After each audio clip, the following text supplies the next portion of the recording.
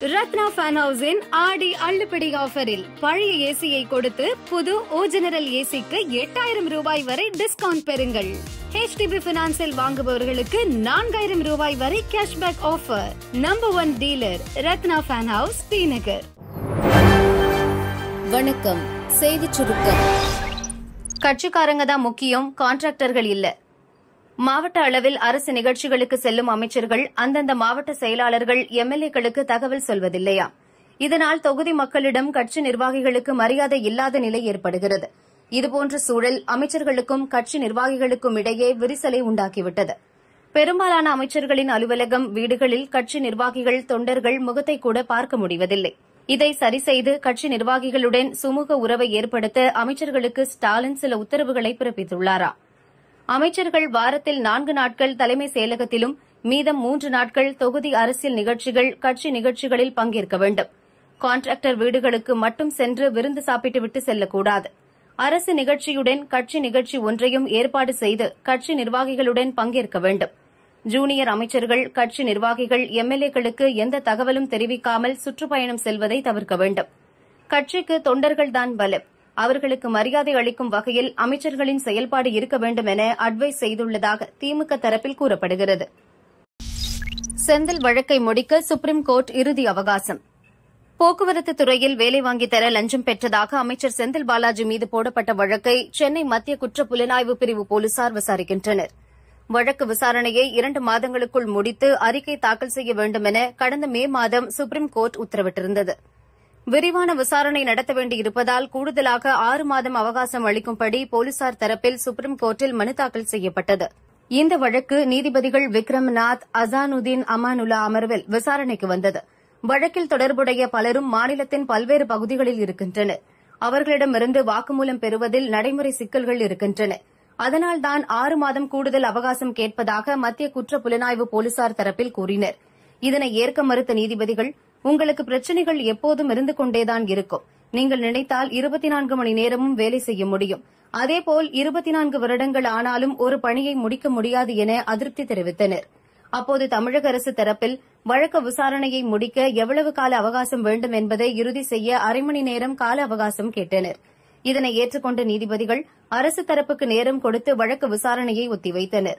அரை மணி நேரத்திற்கு பின்னர் தமிழக அரசு தரப்பில் வழக்கு விசாரணையை முடிக்க இரண்டு மாதமும் இறுதி அறிக்கையை தாக்கல் செய்ய மேலும் ஒரு மாதம் என மூன்று மாத கால அவகாசம் கேட்கப்பட்டது. இதனை ஏற்க மறுத்த நீதிபதிகள் செந்தில் பாலாஜி வழக்கு விசாரணையை செப்டம்பர் முப்பதுக்குள் முடிக்க மத்திய குற்ற புலனாய்வு போலீசாருக்கு உத்தரவிட்டனர். அதற்கு மேல் கால அவகாசம் எதுவும் வழங்கப்படாது. அந்த காலக்கெடுவுக்குள் விசாரணையை முடிக்கவில்லை என்றால் வழக்கை விசாரிக்க சிறப்பு புலனாய்வு குழு அமைக்கப்படும் என்றும் நீதிபதிகள் உத்தரவில் குறிப்பிட்டனர். எப்படியெல்லாம் யோசிக்கிறாங்க? வீடியோ காலில் புதுவித மோசடி. சைபர் கிரைம் எனும் இணையவழி குற்றங்கள் நாளுக்கு நாள் பல வழிகளில் அதிகரிக்கிறது. இப்போது சைபர் கிரைம் குற்றவாளிகள் டீப் ஃபேக் எனும் தொழில்நுட்பத்தை பயன்படுத்த துவங்கியுள்ளனர். சோசியல் மீடியாக்களில் நாம் பதிவேற்றும் குடும்ப உறுப்பினர்கள் நண்பர்கள் தெரிந்த நபர்களின் படங்களை அவர்கள் திருடுகின்றனர். அதில் உள்ளவர்கள் முகம் போல டீப் ஃபேக் தொழில்நுட்பத்தில் போலியாக முகத்தை உருவாக்கி வாட்ஸ்அப்பில் வீடியோ கால் செய்கின்றனர். அந்த அழைப்பை ஏற்கும்போது எதிர்முனையில் இருப்பது நமக்கு தெரிந்தவர்களின் முகம் போலவே இருக்கும். அம்மாவுக்கு உடம்பு சரியில்லை அவசரமா பணம் தேவைப்படுது என கேட்டு ஏமாற்றி பணம் பறிக்கின்றனர். தெரியாத எண்களில் இருந்து வரும் வீடியோ கால் அழைப்புகளை ஏற்க வேண்டாம் என சைபர் கிரைம் போலீசார் அறிவுறுத்தியுள்ளனர். தெரிந்தவர்கள் யாராவது வீடியோ கால் செய்து பணம் கேட்டால் அவர்களின் மொபைல் எண்ணில் அழைத்து உறுதிப்படுத்துங்கள். வீடியோ கால் மோசடி கும்பல் தொடர்பு கொண்டால் உடனடியாக ஒன் நைன் த்ரீ ஜீரோ என்ற எண்ணில் புகார் கொடுக்கலாம். Cyber crime dot GOV dot IN என்ற இணையதளத்திலும் புகார் அளிக்கலாம் என சைபர் கிரைம் கூடுதல் டிஜிபி சஞ்சய் குமார் கூறினார். உயர்கல்வி மன்ற இணையதளம் மூடல். தமிழகத்தில் உள்ள அரசு பல்கலைக்கழகங்கள் கலை அறிவியல் கல்லூரிகளில் நடப்பு கல்வியாண்டில் புதிய பாடத்திட்டத்தை உயர்கல்வித்துறை அறிமுகம் செய்துள்ளது. இந்த பொது பாடத்திட்டத்திற்கு பல்வேறு தரப்பில் எதிர்ப்பு எழுந்துள்ளது. பல கல்லூரிகள் அதை அமல்படுத்த மறுத்துள்ளன. அதனால் விருப்பப்படும் கல்லூரிகள் மட்டும் இந்த ஆண்டு அறிமுகம் செய்யலாம் என அரசு அறிவித்தது. புதிய பாடத்திட்டத்தை தயாரித்த உயர்கல்வி மன்றம் தனது இணையதளத்தில் பழைய பாடத்திட்டத்தையே வைத்திருந்தது. கடந்த ஆட்சிக்கால தகவல்களுடனே செயல்படுவதாகவும் கல்வியாளர்கள் புகார் கூறினர். இதுகுறித்து தினமலரில் செய்தி வெளியானது. இப்போது உயர்கல்வி மன்ற இணையதளம் அவசர அவசரமாக மூடப்பட்டுள்ளது. புதிய பாடத்திட்டத்தை பதிவேற்றம் செய்து புதிய தகவல்களுடன் இணையதளத்தை புதுப்பிக்க உயர்கல்வித்துறை உத்தரவிட்டுள்ளது. இளம்பெண்ணை நடுரோட்டில் நிர்வாணமாக்கி தாக்கிய ஆசாமி.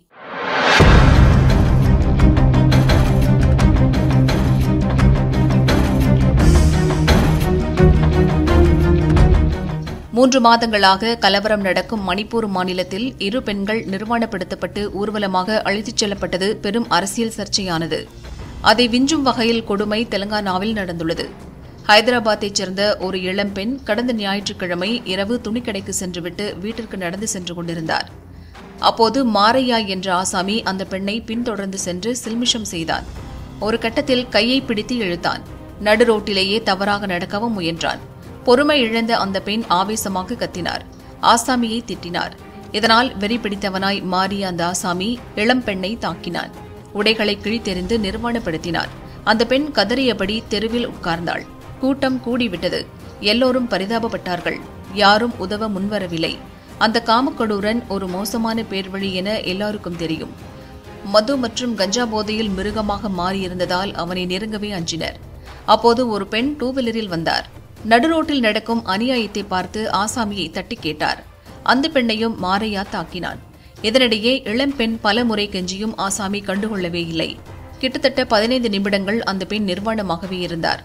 யாரோ போலீசுக்கு போன் செய்ய போலீசார் வந்தனர். தப்பியோட முயன்ற மாரையாவை மடக்கி பிடித்து கைது செய்தனர்.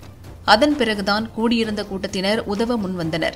சில பெண்கள் ஓடி வந்து தார்பாயை பெண்ணுக்கு போர்த்திவிட்டனர் இத்தனை சம்பவம் நடந்தபோது மாரையாவின் தாயும் அந்த இடத்தில்தான் இருந்தார். மகனை அவர் தடுக்கவில்லை. பெண்ணின் மானத்தை காப்பாற்றவும் முயற்சிக்கவில்லை. பாதிக்கப்பட்ட பெண் கொடுத்த புகாரின் அடிப்படையில் மாரையா மீது பெண்மையை களங்கப்படுத்துதல் கொடூரமாக தாக்குதல் மிரட்டுதல் உள்ளிட்ட பல பிரிவுகளில் போலீசார் வழக்கு பதிவு செய்தனர். மகனை தடுக்காத தாய் மீதும் வழக்கு போடப்பட்டுள்ளது. தொடர்ந்து விசாரணை நடக்கிறது. இந்த சம்பவம் தொடர்பான வீடியோ சமூக வலைதளங்களில் பரவி கடும் அதிர்ச்சி அலையை ஏற்படுத்தியுள்ளது. கொடூரனுக்கு கடுமையான தண்டனை வழங்க வேண்டும் என பல தரப்பினரும் வலியுறுத்துகின்றனர். விஜய் பட இயக்குனர் சித்திக் மாரடைப்பால் மரணம். பிரபல மலையாள இயக்குனர் சித்திக் காமெடி மற்றும் சென்டிமெண்ட் கலந்த படங்களை இயக்குவதில் கை தேர்ந்தவர். ஆயிரத்து தொள்ளாயிரத்து எண்பத்தி ஒன்பதில் டைரக்டராக அறிமுகமானார். ராமோஜி ராவ் ஸ்பீக்கிங் என்ற படத்தை நடிகர் லாலுவுடன் இணைந்து இயக்கினார். அதன் பிறகு இந்த இரட்டையர்கள் இயக்கிய படங்கள் மாபெரும் வெற்றி பெற்றது. Harihar Nagar Godfather Vietnam Colony Kabuliwala போன்ற மாபெரும் ஹிட் படங்களை கொடுத்தனர். ஆயிரத்து தொள்ளாயிரத்து தொண்ணூறுகளில் இருவரும் பிரிந்தனர். அதன் பிறகும் பல வெற்றி படங்களை சித்திக் இயக்கினார். ஆயிரத்து தொள்ளாயிரத்து தொன்னூற்றி ஒன்பதில் ஃப்ரெண்ட்ஸ் எனும் படம் அது மாபெரும் வெற்றி பெற்றது. அதை விஜய் சூர்யாவை வைத்து அதே பேரில் தமிழில் இயக்கினார். அதுவும் பெரிய ஹிட் ஆனது. காமெடி சென்டிமெண்ட் கலந்த படம் அது. அப்படத்தில் இடம்பெற்ற வடிவேலு காமெடி காட்சிகள் இன்று வரை ரசிகர்களை சிரிக்க வைத்துக் கொண்டு இருக்கிறது இரண்டாயிரத்தி நான்கில் விஜயகாந்த் நடிப்பில் எங்கள் அண்ணா படத்தை இயக்கினார். அதுவும் பெரிய ஹிட் படமானது. இரண்டாயிரத்து பத்தில் பாடிகார்ட் என்னும் வெற்றி படத்தை தந்தார். அதை ஹிந்தியில் சல்மான் கானை வைத்து ரீமேக் செய்தார். அதே கதையை வைத்து தமிழில் விஜய் நடிப்பில் காவலன் படத்தை உருவாக்கினார். அதுவும் மிகப்பெரிய வெற்றி படமாக அமைந்தது. தமிழில் பிரசனா நடிப்பில் சாது மிரண்டா அரவிந்த் சுவாமி நடிப்பில் பாஸ்கர் ஒரு ராஸ்கல் ஆகிய படங்களையும் சித்திக் இயக்கினார். கடந்த சில ஆண்டுகளாக கல்லீரல் பிரச்சனையால் சித்திக் அவதிப்பட்டார் அதற்காக தொடர்ந்து சிகிச்சை பெற்று வந்தார். நேற்று அவருக்கு மாரடைப்பு ஏற்பட்டது. கொச்சி மருத்துவமனையில் சேர்க்கப்பட்டார். அங்கு அவருக்கு எக்மோ கருவி மூலம் சிகிச்சை அளிக்கப்பட்டது. உடல்நலம் தேறி வந்த நிலையில் செவ்வாய் இரவு மீண்டும் மாரடைப்பு ஏற்பட்டு இறந்தார். சித்திக்கு வயது அறுபத்தி மூன்று மனைவி பெயர் சஜிதா. மூன்று பிள்ளைகள் உள்ளனர். சித்திக்கின் மறைவு மலையாள திரையுலகை கடும் அதிர்ச்சியில் ஆழ்த்தியுள்ளது.